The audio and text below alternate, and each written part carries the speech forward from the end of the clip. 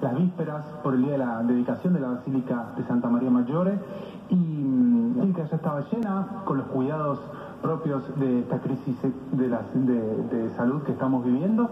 Y bueno, vemos entrar el Papa, muy sencillo, muy humilde, con un arreglo floral, ¿no? una ofrenda para la Virgen, se acercó en silencio, sin cámaras, eh, sin, sin nadie, entró, se acercó, la gente estaba muy emocionada, estábamos todos muy emocionados. Entró al camarín de la Virgen, se sentó, rezó alrededor de unos 10, 15 minutos y después con mucha tranquilidad salió también.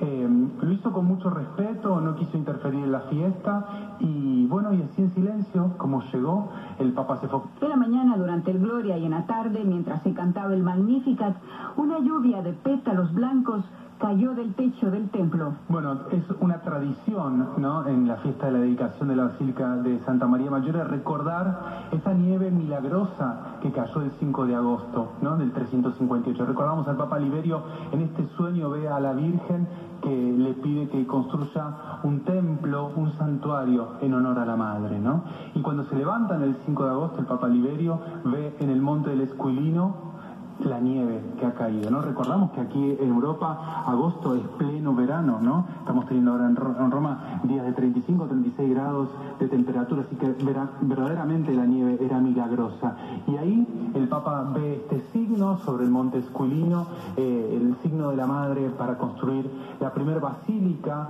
en honor a Santa María de todo el occidente, ¿no? Es eh, el santuario de la Virgen más antiguo del occidente. Así que en honor de esta, de esta nieve milagrosa, desde el techo del, templo de la basílica cayeron pétalos de, de rosas blancos recordando esa nieve. Nos recuerdan como una caricia que la Virgen le ha dejado al pueblo romano. El Papa Francisco es particularmente devoto de esta imagen desde que fue elegido como Papa el 14 de marzo del 2013, el día después de su elección, se dirigió hasta esta basílica para rezar ante la imagen de la Madre de Dios. Desde entonces hizo de esta visita un hábito que se repite antes y después de cada uno de sus viajes apostólicos, en agradecimiento a la Salus Populi Romani.